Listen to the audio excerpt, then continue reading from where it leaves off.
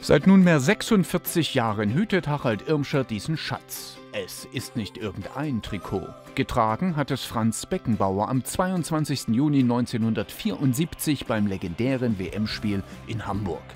Wie Irmscher an dieses Unikat kam, behielt er lange Zeit für sich.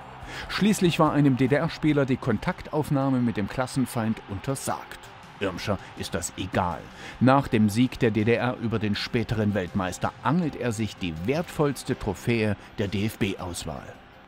Wann bekommst du wieder mein Hemd von Sepp Meyer oder von Paul Breitner? Und ich habe das Glück gehabt, eben das Hemd von Franz zu bekommen.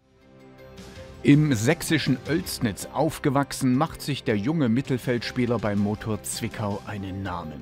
Als er mit den Westsachsen 1967 Pokalsieger wird, hat er schon sein erstes Länderspiel absolviert. Er zielt im damaligen Karl-Marx-Stadt gegen Ägypten auch sein erstes Auswahltor. Da ist er gerade 20. Kein Wunder, dass Georg Buschner auf ihn aufmerksam wird, ihn 1968 zum DDR-Meister nach Jena holt. Die Erfolge von damals haben Strahlkraft bis heute. Man bekommt noch Autogrammpost, das ist eigentlich das Schöne. Nicht nur aus der Ex-DDR, sondern auch aus den alten Bundesländern vielmehr. Das sieht man auch, guck, dich gab es mal und viele erinnern sich noch dran, die Autogrammsammler sind. Mit der Wende kommt der Bruch.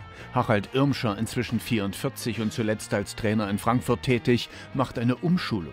Ab 1991 steht er täglich früh um sieben in seiner kleinen Werkstatt, renoviert Türen, fast 15 Jahre lang.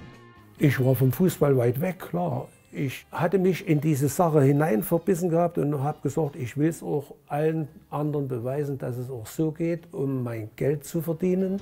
2005 folgt er dem Lockruf von Bernd Stange und wird als dessen Co-Trainer auch noch zum Weltenbummler. Erst Zypern, dann Weißrussland, Singapur und Syrien. Was ihm wichtig ist, all das ging nur mit der Unterstützung seiner Frau.